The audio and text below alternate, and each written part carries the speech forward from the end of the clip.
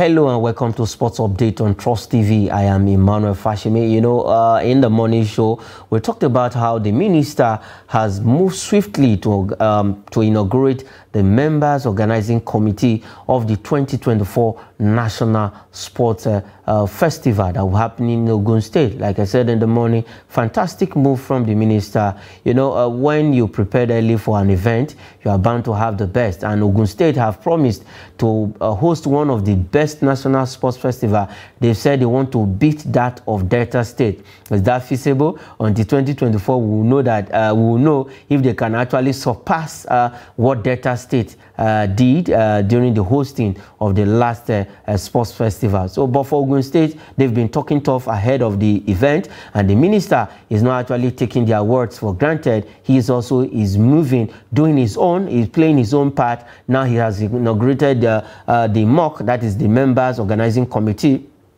of that uh, uh, particular uh, event that will be happening in 2024. Okay, we, we have the list in the morning. We couldn't show you the list right now. This is the list, uh, and these are the persons that will be actually handling everything that concerns uh, the 2024 National Sports uh, Festival. We have uh, Alaji Ismaila Abubakar as the chairman. We have Bukola Olokpade, like I mentioned uh, in the morning, as the vice uh, chairman. We have Tekla Opara as the secretary. And we have Paul Onyeudo, member. We have Olufe Hinti, Olusegun, member. Muhammad Manga, uh, member. We have Gregory Z, member. We have Fada, Fada Keke, uh, Fade Ibi, member. We have Abolore Alamu, Alamu member. We have Patrick Okeke, Amaka, Ashiofu, Olawale, Moronkola, and then we have Habu Gumel. We have a Sunday, uh, when, it, when we say Habu Gumel, that name rings where he's a uh, uh NOC uh, chairman, that is the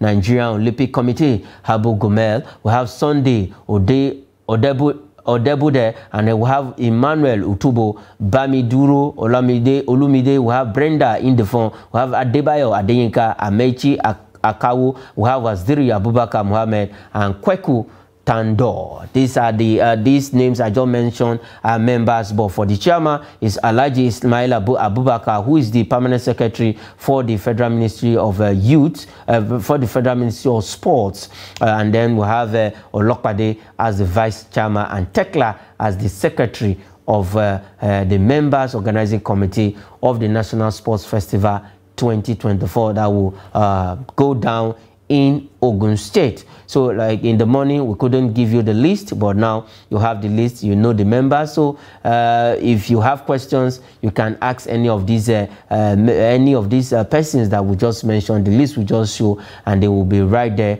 to answer your questions, and they they are they will be in charge to see how that uh, national sports festival we come, in fact, we come alive and how it's going to be run smoothly. So they are in charge. They will be working with the local organizing committee that has been set up by the host state. So let's see how it goes. The National Sports Festival is where we get talents to represent us in the various sports in this country. So let's uh, leave that story and go straight. Now it's a good news for the Nigerian cricket in the ICC ranking where they have moved up in the ICC ranking. That's for the Nigerian yellow and green as they are called. And it's a good one that uh, the Nigerian yellow and green move up in the ICC ranking. And when it comes to uh, cricket in Nigeria and in Africa, we know that um, Nigeria is a fast growing country uh, in, the, uh, in the cricket world. And we've seen how they've been getting uh, the support of uh, the international cricket body. the last time out out and now in this movement for Nigeria moving up in the ICC uh, T20 ranking is a good one for uh, our federation, for the Cricket Federation of Nigeria and also uh, the president of that uh, the president of the Nigerian Cricket Federation has said Nigeria will continue to progress uh, when it comes to uh, cricket. And right now, I can tell you that uh, the ranking position that Nigeria moved up in the T20 rankings going ahead of uh, the countries like Rwanda, uh, who we think these are countries who started cricket way, way ahead of uh, uh Nigeria. So for them to have actually moved up is a good one in the ITT, ICC T20 rankings, I beg your pardon. And for the Cricket Federation, well, kudos to them. We hosted one event of recent where uh, the West African Tour Invitational Tournament where Nigeria actually emerged champions. Okay, let's uh, leave a cricket story and also talk about another good news for uh, where this time around it's not a good news, but somehow he was still able to retain his position in Africa. That is uh, no other person than Aruna uh, Quadri. We're talking about table tennis where he has uh, dropped one spot in the ITTF uh, ranking, that is the International Tennis Table Tennis Federation ranking for our own uh, Kadri Aruna. As it stands right now, Aruna is ranked 15th uh, uh, in the world, though he's ahead of the likes of uh, uh, Omar Asaf, Egypt, who is placed second in the continent. But for Aruna, he he moves, he dropped one spot to the 15th position in the ITTF ranking. Um, but he is still number one in Africa, no matter the uh, drop in the uh, ITTF ranking, he still remains uh, number one in Africa. He moved from the 14th position to the 15th position in the ITTF uh, uh, ranking. Good one for our own uh, Aruna Quadri, who is doing well when it comes to table tennis in the world, not just in Nigeria alone, not just in, in Africa.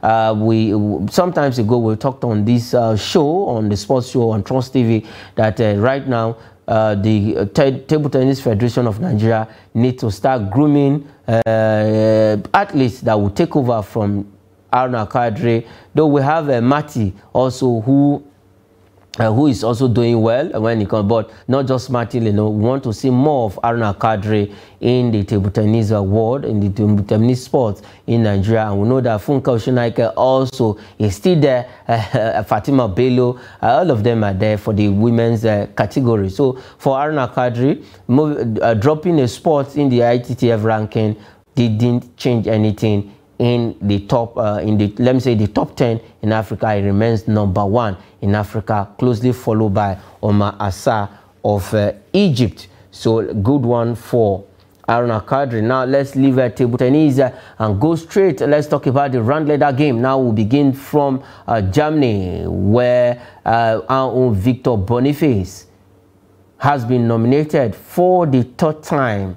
Uh, nominated for the third time. That is uh, for the Rookie award. You, you see that you see that on your screen. ROTMA, that is Rookie uh, of the Month uh, award in the German Bundesliga. And what does this? Uh, what does that mean? The Rookie award means uh, players that are just coming to the league, uh, as in just coming to the league. The for their first season in the German Bundesliga, this award has been created to actually encourage them. The likes of Hurricane uh, Hurricane Victor Boniface, Xavi Simons, who he will be, uh, who will be challenging Victor Boniface for this particular award. Uh, all just coming in to the league. And for Victor Boniface, if you look at the month of October, it was fantastic uh, in all of their outings and good one. He had a couple of assists. He had one assist in the derby game against Cologne uh, where they won 2-1 and he has been fantastic ever since, ever since for Bayer Leverkusen and with his uh, goal scoring form and his assist form, that is where Bayer Leverkusen are topping the table in the German Bundesliga. He has been nominated for the third time running for the Rookie Player uh, of the Month award the last uh, two awards he won them the one of august and the one of uh, september. He won those two and now he won two back to back and now he has been nominated for the third time. That is the month of october. So let's see uh, who is who is going to win it. He has Xavi Simons and Brad uh, Gruja to struggle this one with. Now for the uh, october uh, player, a rookie uh, player of the month award. Let's see if uh, Victor Boniface can make it a hat trick of that uh, award. Congratulations for his nomination and immediately uh, the list was released. Bayer Leverkusen took to their X handle, that is uh, Twitter, to actually celebrate and congratulate Victor Boniface for being nominated. So like I said, he has a Xavi Simons to contend, as in to contend with uh, in this particular award. And I believe with his uh, performances in the month of October, the month under review, Victor Boniface stand a chance of winning it for the third time. And it's, it's a good one for Victor Boniface and for all of our strikers doing well in Europe. Now let's uh, take uh, a trip to Italy where Victor Osimhen, another Victor, we are talking about the two Victors on the show this evening. Victor Osimhen now will be returning to Italy. That is precisely on Wednesday. We're talking about uh, Victor Boniface to return to Italy tonight. He will be there uh, um, in Italy tonight. We know they have uh, uh, the UEFA Champions League uh, fixture that will be coming up. We'll be getting to that fixtures later on the show. But for Victor uh, Osimhen, after uh, that injury, that when he came to the international duties, now he will be returning to Italy uh, to continue his um, his uh, recovery. Probably he will be available for Napoli uh, in the, in the weekend uh, fixtures. But uh, for tonight, he will be there. He will be taking no part in their Champions League uh, clash tonight. But it's a good news that uh, Victor Boniface, Victor Osimhen, I beg your pardon, not Victor Boniface. Like I said, we talk, we are talking about the two Victors on the on the show. Osimhen, uh, we be we know that he will be uh, in the Super Eagles uh, squad for the Nations Cup in 2024 that will happening in Cote d'Ivoire. So uh, right now. Jose Peseiro, everybody is uh, trying to see how they can keep Victor Bonif uh, Victor Osimhen in shape ahead of the Nations Cup next year. It's a good news that he he has uh, uh, he will be returning to his base uh, tonight. I believe he will be there when they will be uh, when they will keep a date with their opponent in the Champions League uh, uh, group fixture tonight. So for Victor Osimhen, congratulations for at least it was it, it, it's a good news that he, the injury right now is over he will, she will be back on Paroni over the weekend when they will be playing their Italian Serie A uh, fixture. Now let's uh, look at the fixtures of the Champions League games that will be coming up tonight. We have fixtures that have been lined up for tonight, and let's look at we we'll look at the other groups uh, in the morning show. Now let's look at the remaining groups in uh, in the evening show. Now Napoli, like I said, we keep a day with FC Union Berlin from.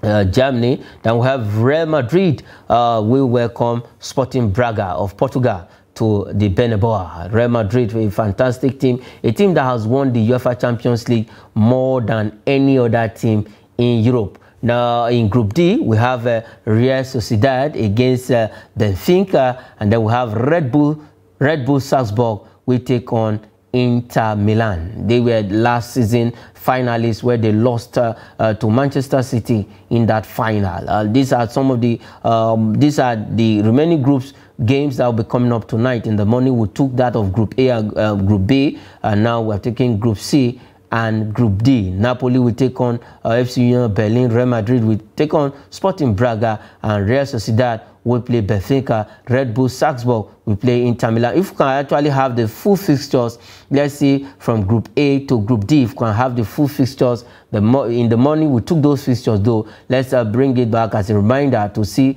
the full fixtures that will be coming up tonight. Okay, now we have uh, Bayern Munich will be taking on, uh, taking on uh, Galatasaray. We have FC Copenhagen to play Manchester United. That is in Group A. In Group B, we have Arsenal against uh, Sevilla and Lens will take a trip to Netherlands to face Eindhoven in that uh, in Group B. Now the remain we took, now we're taking the remaining group in the evening show in Group C. Now we see Napoli will play FC Union Berlin, Real Madrid to take on Sporting Braga, Benfica battles Real Sociedad. Let's see if uh, uh, our own uh, Sadiq Umar uh, will be in action tonight because it uh, it has not been easy for the young man after coming back for from that injury that kept him kept him out for one full season, one full season. Sadiq Umar was not in action, and since his return, he has been uh, struggling, at least struggling to uh, catch up with his teammates. It's not left for the manager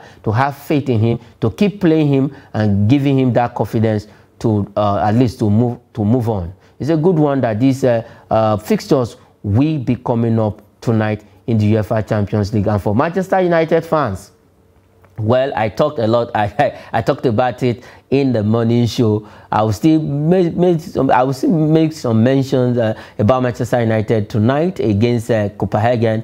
They need to wake up. Like because if you look at all of the fixtures tonight, a lot of persons have written off uh, Manchester United in that game. So you don't do that when it comes to sport. And for Real Madrid, they were head to a goalless draw uh, over the weekend uh, by Rayo Vallecano. Let's see how they will bounce back uh, in their fixtures tonight, uh, in their own fixture tonight. That's for Real Madrid. You can still see the fixtures just as a reminder. Uh, Bayern Munich against Galatasaray. I think uh, Bayern Munich in that group, in Group A, are better. They, they, they are topping that group. And then Napoli with uh, FC Union Berlin, Real Madrid, and against uh, Sporting Braga. It was not a good one over the weekend for Real Madrid at the Bernabeu, and they had one, uh, you know, their star man, Jude Bellingham, was. Uh, got injured in that particular game they didn't con uh, conclude uh, the, the game against Rayo Vallecano and let's see how many uh, how that injury how bad the how bad the injury is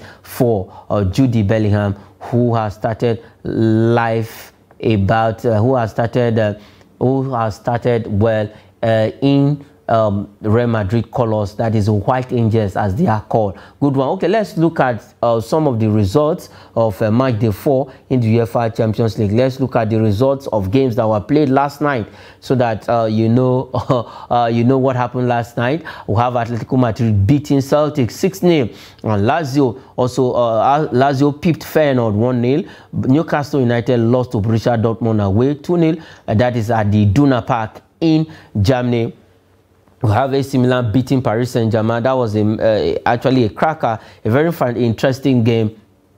AC Milan 2 uh, won against uh, Paris Saint-Germain. AC Milan have won the Champions League six times. Uh, I think they are they they themselves they themselves and Liverpool are the two teams that uh, that have won the Champions League more uh, outside uh, Real Madrid. We have Red Star Belgrade.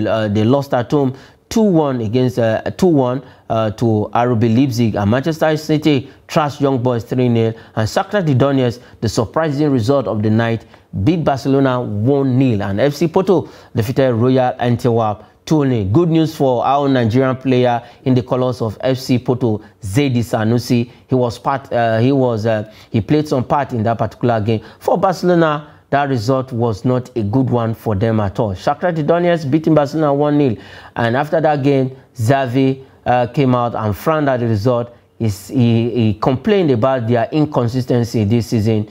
And if you look at it, I think the man is right because Barcelona has not really been consistent for quite some time since the beginning of the season. They've been winning some games and losing some of them. And now another uh, loss happened uh, in the UEFA Champions League last night. So for the fixtures tonight, you can just go out there, watch any of the uh, game, any of the uh, UEFA Champions League game you want to watch. But as we speak right now, the game between Bendel Insurance and uh, Doma, uh, and Doma United is ongoing in the Nigerian Premier League. It is our own. You have to go and watch the game between ben if those of you around Gombe and staying in Gombe, go and watch Gombe United, uh, Doma United, I beg your pardon. Go and watch uh, Doma United at the Pantamin Stadium right there in Gombe State, uh, where they are currently taking on Bendel Insurance, a team from Benin. That is the Benin Arsenal. It's the Nigerian Premier Football League. And after this uh, rescheduled game, match day six fixture. So for Bendel Insurance and Doma United, that game uh, I believe is currently ongoing and probably uh, towards the uh, closing stages of that particular game as we speak. Okay, that is where we'll leave it on the show Sports Update on Trust TV. I am Emmanuel Fashimi saying thanks for watching.